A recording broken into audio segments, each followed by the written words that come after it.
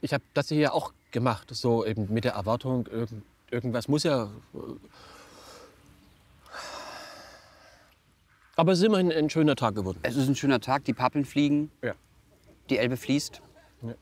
Also selbst mit der Gewissheit, dass ich ja jetzt merke, wir haben jetzt hier gedreht und ist ja jedem, der dabei war, klar, dass das nichts wird, was jetzt irgendwie mich weiterbringt.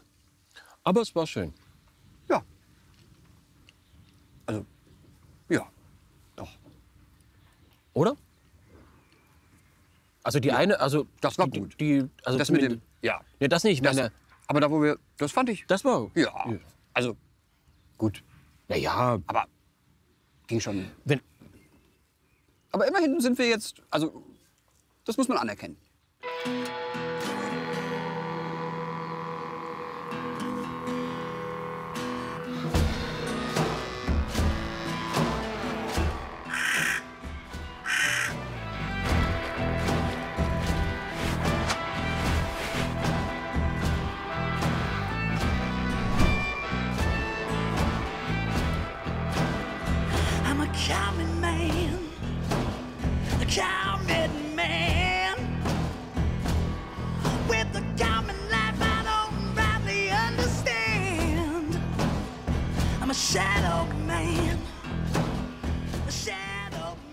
Oh, du bist ja noch, du bist ja noch inkognito. Ja, ich, ich, ich, äh, ich schirme dich ab, Ja. damit niemand den wahren Olaf Schubert sieht. nee.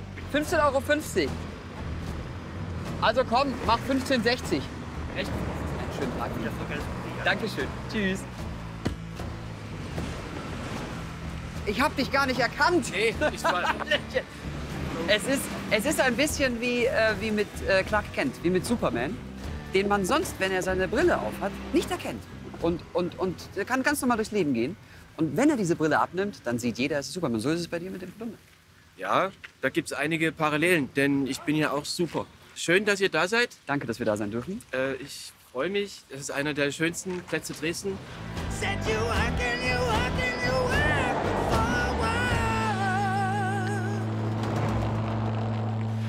Das, Tolle ist natürlich vor allem hier die Ruhe. Ja, das gefällt mir sehr gut. Ja, das ist schön. Und ähm, ich muss Sägespäne holen für den Hamster. Für welchen Hamster? Für mein, also für Iljic. Wie heißt er? Iljic. Iljic, okay. Ist dein Hamster. Nein, also der, ja, also der gehört den Kindern. Also eigentlich wollte ich einen, aber ich wollte mich nicht kümmern. Dann habe ich gesagt, Kinder, nehmt ihr doch den Hamster. Und da habe ich das sozusagen schön kombiniert. Dann lernen die Kinder gleich, dass sie Verantwortung übernehmen müssen, auch für Dinge, die sie nicht interessieren. Okay, und wie geht's ihm jetzt gerade? Schlecht, das muss man wirklich sagen. Kriegt er also, Essen und Trinken? Kaum. Und hat er so ein, hat er so ein Hamsterrad? Okay. Wow, hoffentlich guckt Peter nicht zu. Äh, ja gut, dann hol, was holen wir jetzt für den Hamster? Sägespäne. Ich hätte euch auch gern den Hamster gezeigt, aber äh, man darf am Tag mit Hamstern nicht drehen, weil die ja nachtaktiv sind. Ach so. Da hätten wir wirklich keine Drehgenehmigung bekommen. Das haben die, die, die deswegen, ja, das, in den Hamsterrädern auch, brauchen Ja. die ja auch immer eine Drehgenehmigung. Ja.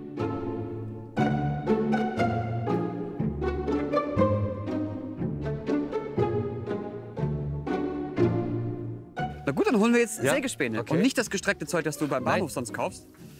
Das ist ein Stammladen von dir, ne? Ja, im Prinzip bin ich hier seit äh, 1890. ja, hast du mit eröffnet damals. Ah ja, wenn du... Hallo! Sieht jetzt schon sehr nett aus. Hallo? Hallo! Ich bräuchte ein paar, paar Sägespäne. Ja, Guten Tag. wie immer. Für den Hamster. Ach so, die eigentliche Kernkompetenz dieser Manufaktur ist gar nicht das Herstellen von Sägespänen, sondern von Holzfiguren. Holzfiguren. Oder- Holzfiguren stellen wir auch her, na klar. Und Sägespäne. Also das, ist, das wird so gemacht, bei der Herstellung der Sägespäne fallen durch Zufall diese Holzfiguren mit ab, weil die, das geht nicht anders. Man muss das bei den Maschinen so machen mit den Formen. Und das ist ja eigentlich auch im Sinne der Nachhaltigkeit ein sehr umweltfreundlicher Ja, Gedanke, den ja, Sie da ja. machen. Toll. Das kann ich nur unterstützen.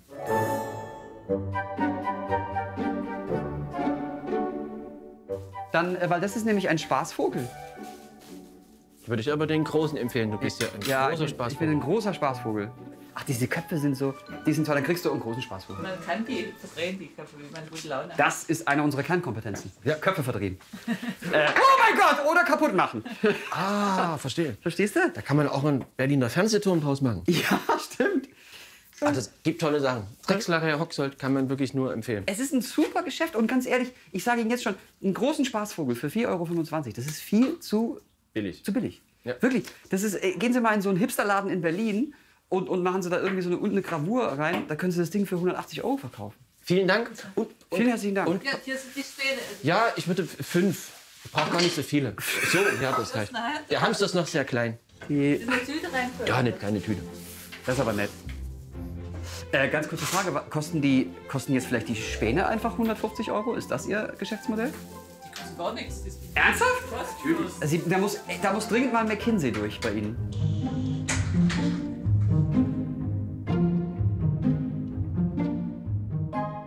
In Actionfilmen könnte man jetzt auch damit jemanden zum Beispiel so, so ganz mühsam um, umbringen. Ja? Ja, Aber ökologisch natürlich, nachhaltig. es ist ein Biomord. Ja. Dankeschön. Danke. Ja, das haben wir ja schon wirklich, also was geleistet heute. Ja. Sägespäne. Ich würde ja gerne noch ein bisschen, hast du noch ein bisschen Zeit, ein bisschen was von deinem Kurz, aber wirklich Stadt? nicht lange. Ich muss dann auch. Äh, Was, was hast du noch für Termine? Ah, den- Wartet. Ja, klar. was interessiert dich noch von Dresden? De deine Hotspots. Meine Hotspots. Ja, was, wo gehst du so hin? Also der hotteste Spot ist, also das hotteste in puncto hot ist eigentlich hier. Dort hinten ist ja auch das Gefängnis, also die Vollzugs, Strafvollzugseinrichtung. Hier die Polizei, die Drechserei. Dort ist der Imbiss. Eine, eine wunderschöne Imbe. Möchtest du was vom Imbiss? Ich Gerne, oder? Ja, komm, dann äh, nehmen wir Nach was so mit. viel harter Arbeit, finde ich auch, haben, haben wir uns aber auch was verdient. Hallöchen. Äh, was wollen wir denn haben? Was möchtest du denn gerne? Ähm, ein Wodka? Genau, ja. Äh, Quatsch, Kaffee meine ich. Kaffee. Mit Sahne? Ja, bitte. Äh, haben Sie auch ein Kaltgetränk? Apfelschorle, äh, Fita-Cola oder Mineral- Ah, Vita-Cola natürlich, ne? Das ist doch, das ist doch die, die Ostcola, oder? Ja. Sagt man wirklich Vita oder spricht man Vita? Ich glaube, man spricht ja im Falle der Vita von, von der Vita, ne? oder? Von der Vita, Die, die ja. Vita. Aber Karl, Karl Valentin hat mal gesagt, man sagt ja auch nicht äh, Vater, sondern Vater. Ja, Das stimmt. So. Werbung machen. Ja. Sie, aber für Vita-Cola können wir Werbung machen. Ich glaube, das ist kein Problem. Die kauft wirklich keiner. Die Bockwurst ist ja quasi, wie sagt man immer so schön, der Tankstellenfasan, Ja, genau. oder? Die Hartz-IV-Lände. Was gibt's noch für schöne Begriffe? Äh, ah, Assi-Bräuler, auch sehr gut. Das ist nicht, dass du das jetzt in die Nase steckst, äh, als Reflex. Ne? Da Ja. Passiert oft zurzeit. Dampfpimmel. Entschuldigung, wir kennen uns jetzt seit zehn Minuten. Da musst du nicht gleich anfangen. Ich hatte noch, äh, irgendwas kannte ich doch noch äh, für die Bockwurst. Ach so. Dampfpimmel, Hartz-IV-Lände, Tankstellenfasan. Ich glaube, das sind so, wenn man mit den vier Vokabeln kriegst du überall eine Wurst. Ja. Auch im Herrenbekleidungsgeschäft. Ja. ja. Wie sieht's denn jetzt aus? Bist du jetzt wieder. Ah, Also arbeitest du wieder richtig so vor Publikum? Jetzt, wo die, äh, wo die, wie heißt, wie ist das, die, die Inzidenz, ich kann mir das Wort, Inzidenz, ich kann mir das nicht merken, ich glaube ich, Inzidenzdemenz. Jetzt, wo diese Zahlen sinken, ist eben das wenige, oder anders gesagt, jetzt, wo die Zahlen sinken, ist eben die Schattenseite, die nur wenige sind. Wir Künstler müssen wieder arbeiten. Ja, man hat sich jetzt so dran gewöhnt. Ja, Und macht Spaß? es war ja schon vorher für alle eine Quälerei, so sage ich mal. Ja. Aber man muss ja. Ja. Macht's dir Spaß, dein Beruf? Bist du gerne Journalist?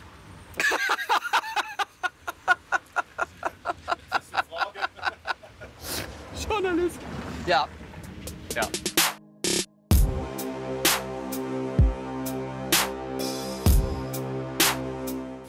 Was meinst du als Fachmann? Jetzt mal wirklich mit deinem journalistischen Blick. Warte. Ja? Ja, hast dich nicht über den Tisch ziehen lassen. Nee. Aber der Tisch, den gibt's halt nicht mehr. Ja. ja. Und wie, wie ist es jetzt wieder vor, vor Publikum? Bist du vor Publikum bestand, gestanden Ja, ja. in letzter Zeit? Und wie Ja. war's? Naja, die, die Leute sind jetzt, also die, die sind jetzt nicht, das hat ihnen jetzt nicht unbedingt allen gut getan. Ne? Das sieht man denen auch an. Und man, hört's auch, in Dresden ist schon was los. Also much traffic hier Ja. in town. Matsch, Traffic, alles. Also Matsch jetzt gerade nicht so, aber wenn es wieder regnet, dann.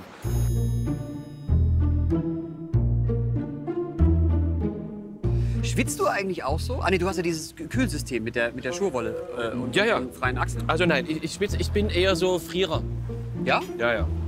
Ja. Früher war alles besser, hat man ja auch mal gesagt. Das stimmt. Ja. Wie ist es, wie, wie, wie läuft's bei dir? Also damit das jetzt nicht so einseitig ist. Ach so, ich dachte, das wäre jetzt schon die zweite Beleidigung. Dampfhimmel. Äh, ich, ich glaube, das. Ich habe das gemerkt, das kommt immer gut an, wenn man so tut, als würde man sich für den anderen interessieren. Absolut richtig, ja. Äh, Es ist eigentlich auch nur eine Möglichkeit, um in der Zeit des, des Antwortens des anderen selbst wieder etwas zu formulieren Richtig. im Kopf. Ja. Richtig. Deswegen tue ich dir nicht den Gefallen und antworte lang und sage einfach gut. Gut. Schön. Sommerurlaub schon geplant? Kurz mal gewesen. Oh. Ja. Machst du Urlaub oder kannst du dir sowas einfach, weil du ja ständig mit Anfragen überhäuft wirst, zeitlich gar nicht leisten? Monetär natürlich locker, schon längst. Aber zeitlich doch nicht. Ja, äh, also ich bin jetzt, glaube ich, den Menschen schuldig, dass ich mir die Zeit nehme. Ja. Und ich fahre aber nicht weit weg. Ich fahre äh, an die Talsperre Malte nach Diepoldiswalde, Dips. Und das ist eigentlich wie hier, bloß dass dahinter noch Wasser ist. Schön. Das ist bewusst natürlich auch für mich wichtig, immer ähm, der Kontakt zur arbeitenden Bevölkerung. Oh ja. Basiskontakt. Ja, und deshalb ist es mir eben wichtig, dass ich weiß, wo wird was gebraucht. Angenommen Lehm oder ja, wom- womit die so hantieren, die Arbeitenden. ne? Viel mit Leben. Ja. Ja. ja. Wir müssen jetzt ja auch zu, zum Faktenteil übergehen, oder? Bitte, ja. ja. Es gibt jetzt noch die, dieses ganze barocke Gegröße. So, also die, die Frauenkirche und den ganzen Quatsch. Und ich habe ja einen Verein gegründet äh, zur Widersprengung der Frauenkirche. Also unter karitativer Anleitung, also mit zu karitativen Zwecken. Ja. Weil es stört viel. Also es nimmt viel Platz weg, gerade eben für Parkplätze. Also wenn die Frauenkirche weg wäre, hätten man mehr Parkplatz und weil weniger Touristen kommen, bräuchte man weniger Parkplatz und dann könnte man auf der könnte man die Parkplatzfläche gleich für was anderes nutzen. So, und wie, wie wurde der Vorschlag vom Senat angenommen? Äh, In Dresden gibt es keinen Senat, das ist ja in Hamburg gibt's oder Ach, in Berlin gibt es den ja, Senat. ja. In Dresden gibt es, glaube ich, eine K- Konklav. Also das ist so eine Art äh, und, und die ist noch zur Beschlussvorlage. Okay. Aber es gibt, äh, es gibt total tolle Ecken, die Ecken und Kanten. Es äh, gibt so viel Tolles, was ich dir zeigen könnte. Toll. Also viele Ecken kannte ich zum Beispiel nicht. Ich habe nur einfach wirklich keinen Bock. Das ist das, ist das Problem.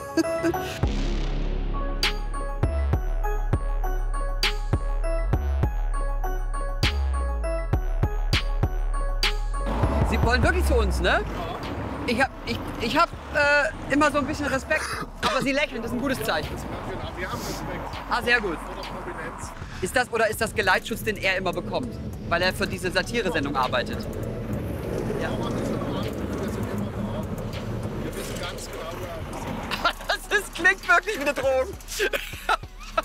ja, wollt ihr ein Foto machen oder was? wir Oder? würden gern, wenn das möglich wäre. Ja, super, klar. Natürlich, na klar. Ist, wir machen aber dann auch ein Foto. Das, Sie sind jetzt mit drauf, ne? Das ist- Das ist der Deal. Ja, sehr gut.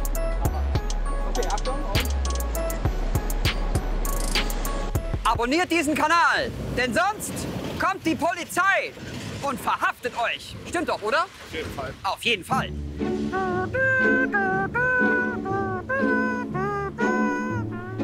Das war ich, das war gar keine Polizeisirene.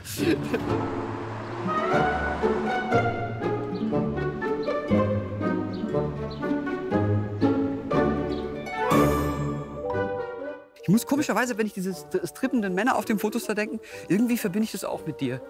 Ich weiß auch nicht. Ja, äh, meine vorletzte Show hieß ja Sexy Forever. Ja, stimmt ja auch. Aber auch um das so ein bisschen äh, zu konterkarieren. Es, es müssen ja nicht alle immer sexy sein. Ja. Es reicht ja, wenn ich das mache. Ja. Besteht natürlich auch die Gefahr, dass man äh, gerade in unserer sehr oberflächlich orientierten Branche auf Äußerlichkeiten reduziert wird. Ne? Muss man Ja. auch aufpassen, dass man auch inhaltlich liefert. Richtig, genau. Das wäre mir immer wichtig, dass ich mich jetzt nicht als Schönling vermarkte, weißt du? So, Ja. Also natürlich, ich weiß, ich brauche mich mit meinem Buddy nicht zu verstecken. Aber Ich gehe hier, dann haben wir auch einen Sicherheitsabstand. Ja. Wenn du noch was wegwerfen musst auf dem Weg, dann wäre das jetzt eine Gelegenheit. Das ist eben das Tolle. Ich muss sagen, die, die Müllkübel sind von innen sauberer als mein Mülleimer zu Hause von außen. Schau dir das mal an. Yes, das ist ja nagelneu. Ja. Toll, oder? Das ist wirklich toll. Und spülst du Joghurtbecher aus, bevor du sie in den Plastikmüll gibst? Ähm, meiner Tochter zuliebe mache ich immer zuerst außen die Papierumrandung ab. Das musste ich ihr versprechen. Äh, und dann esse ich den Joghurt zuerst, also bevor ich ihn ausspüle. Ach, das habe ich jahrelang falsch gemacht. Ja, ja. Ich dachte immer, das ist eine sehr teure, verschwenderische Angelegenheit. Nee, nee, du kannst das ja. Das ist wirklich am ökologischsten, wenn du den Quatsch, der da drin ist, äh, einfach verzehrst. Ach so.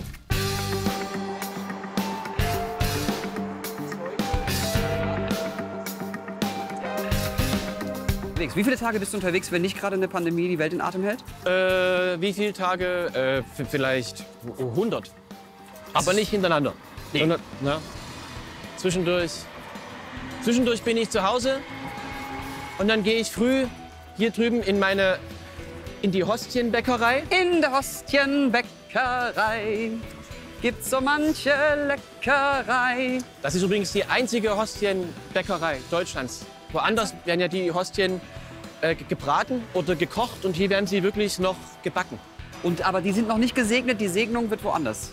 Ja, genau. Die werden in Saudi-Arabien äh, ge- gesegnet und durch die Globalisierung dann zurück und so. Ja. Ja. Die Welt ist so klein geworden. Und das ist natürlich auch ganz toll. Äh, äh, das, das ist, Ja. das ist eine, ein Molkereiladen. Ja, der hat eine sehr wechselhafte Geschichte. Möchtest du es wissen, Pierre? Sehr gerne, Olaf. Es trug sich zu, dass äh, damals vor langer, langer Zeit die Menschen immer sauer waren, weil die Milch sauer war, die ihnen gebracht wurde. Und da hat Herr Pfund gedacht, dann bringe ich doch die Kuh in die Stadt. Und da konnte der Städter äh, im Hinterhof sagen, ich möchte von der Kuh Milch. Und daraus entstand Pfunds Molkerei-Imperium. Und ist das immer noch dieselbe Kuh oder haben sich die Kühe. Ist immer noch die eine Ein, Kuh? es ist die eine originale Kuh, die seit 150 Jahren gemolken wird. Und man muss die ja melken, solange sie Milch geben. Ja, natürlich. Also der die, Volksmund ja. Die, die Kuh ist quasi ein sich selbst zum Brunnen tragender Eimer, ein Perpetuum Melkile.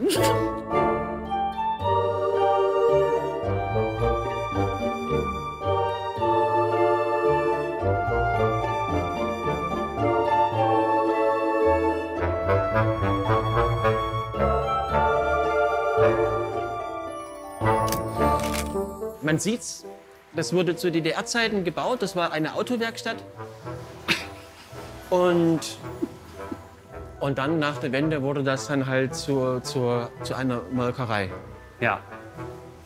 Du darfst dir jetzt was raussuchen. Äh, Darf ich dich eigentlich M nennen? du. Das- ja, sehr gerne. Ab Ich bin Olaf. Ich bin M. Und welchen Buchstaben haben Sie im Angebot? Suchen Sie sich einen aus. Äh, wie heißen Sie denn? Liane?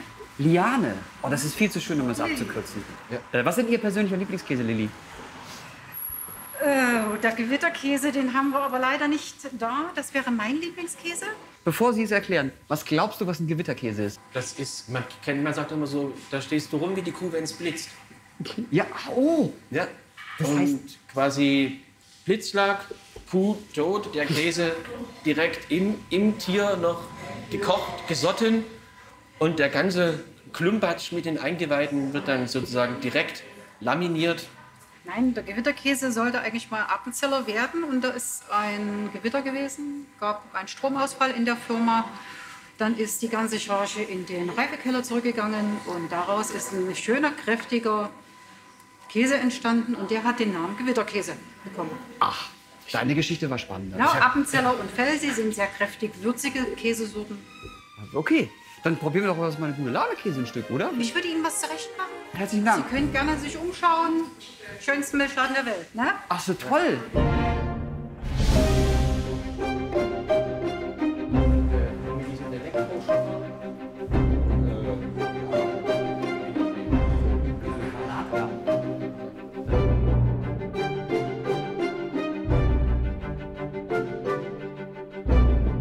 Heute unvorstellbar, ne? diese Freizügigkeit, also diese Ja. mega Euter überall. dort oben. So, da sind wir im Wesentlichen durch, oder? Ja. Würde ich mal sagen. Schön. Das ist unser Milchkrabber, die Spezialität des Hauses. Na, dann können wir nicht Nein sagen. Dann Aber ist gar leer. nicht so schlecht, oder? Nee, also ich finde es sehr lecker und es hat tatsächlich eine. Es schmeckt ein bisschen eierlikörig. Ja. Es, äh, so wie After Eight ohne die störende Schokolade drumherum. Äh, und ohne Minze. Ja. Also ganz anders eigentlich. Mhm. Das ist total nett. Vielen herzlichen Dank.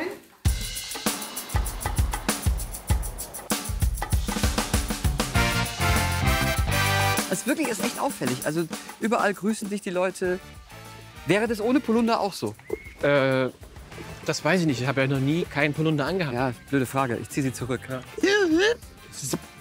Ähm, aber Aber es ist ja die Frage, sonst leben ja in Dresden jetzt nicht so viele berühmte. Ich glaube, Wolfgang Stumpf. oh, stimmt, richtig. Und dann wahrscheinlich auch Stefanie Stumpf, oder? Die wohnen doch bestimmt noch im selben Bestimmt. Haus. Ja. Lady Gaga. Ja. Und das war's schon. Also bei, bei Wolfgang Stumpf bin ich mir nicht sicher. Das weiß ich auch nicht.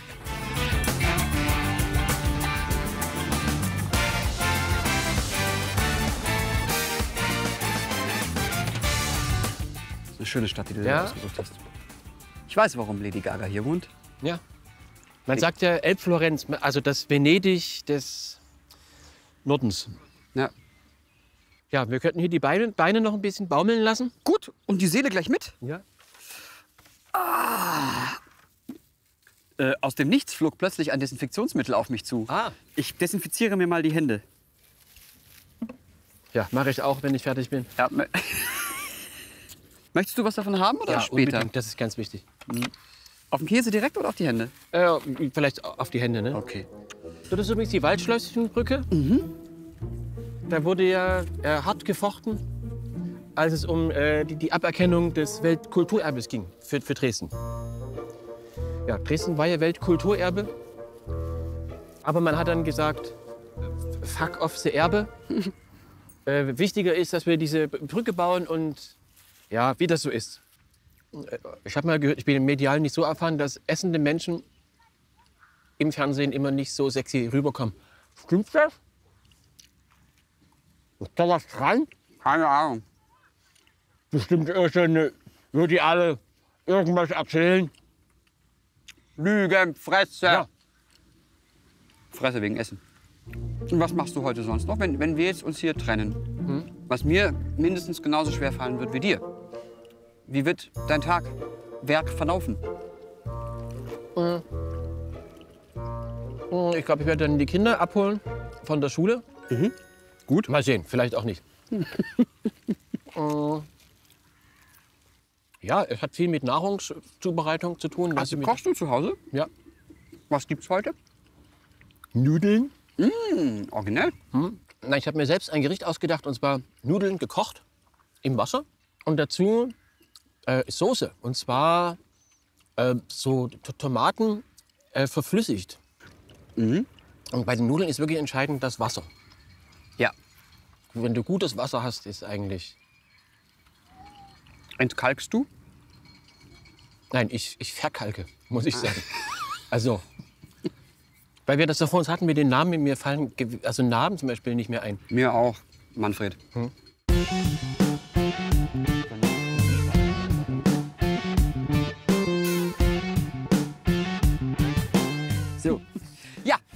Äh, schöner Tag war das mit dir. Dann würde ich sagen, äh, lieber M, es Lieber war O. toll. Ich muss leider, weil ich ja äh, die berichtete, was nun ansteht. Kommt, kommt ihr klar? Ihr wisst, woran ihr arbeiten müsst, oder? Bleib, komm, hier, M, bleib. Es war mir eine große Freude. Gleichfalls, haut rein. Auf gar keinen Fall. Wenn was ist, Keine ihr Gewalt. wisst ja, äh, so. Ich, nee, Quatsch. Hier lang, hier ist Such den. Weg aus. Ja. Alle führen am Ende Italien. Tschüss, Olaf. Tschüss.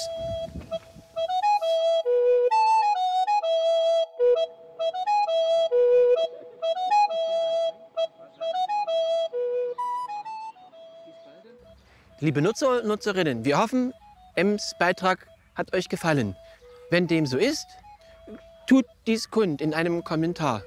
Oder empfehlt befreundeten Verwandten sogar von dieser bunten, abwechslungsreichen Reihe im Internet.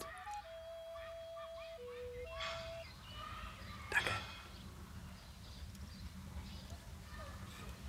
Ja, dann gehen wir jetzt ab. Du da, ich da. Dann, okay.